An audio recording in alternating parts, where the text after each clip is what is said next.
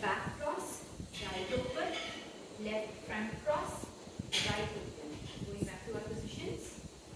Tali comfortably, left cross tali, right open click, left cross tali, right open click. One more time.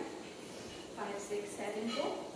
Left cross tali, right open click, left cross tali, right open click.